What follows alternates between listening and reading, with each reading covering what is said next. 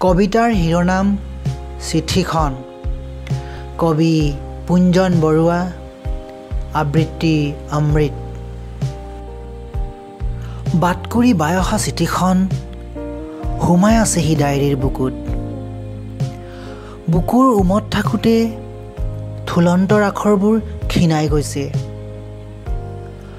পক্ষাঘাত ৰোগীৰ দৰে জহিপমি গৈছে অংগবোৰ।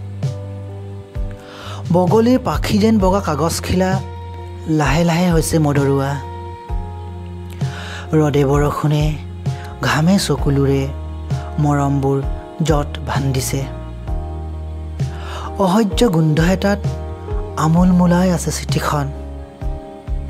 তথাপিও গুৰি পৰুৱাৰ দৰে আখৰবোৰত আছে এক অনামী মাদকতা। যি মাদকতাত নাই তোমাৰ যত্নৰে লিখা মেছেজত। বা ব্ৰাহ্মভা মধুৰ আলাপত